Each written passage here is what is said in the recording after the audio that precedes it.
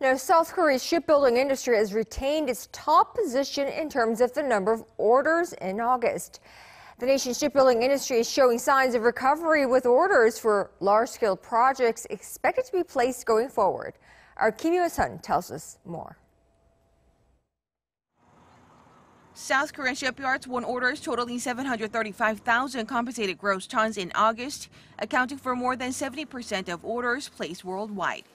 According to data released by the Ministry of Trade, Industry and Energy, South Korea has now recorded the highest number of shipbuilding orders for the fourth month in a row. South Korean shipyards logged orders worth 11.3 billion US dollars in total between January and August.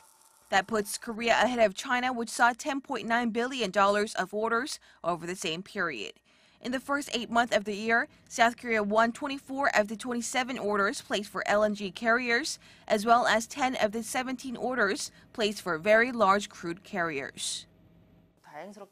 The amount of orders has been steadily rising again since mid-August, leading to profitability thanks to increased unit costs and favorable foreign exchange conditions.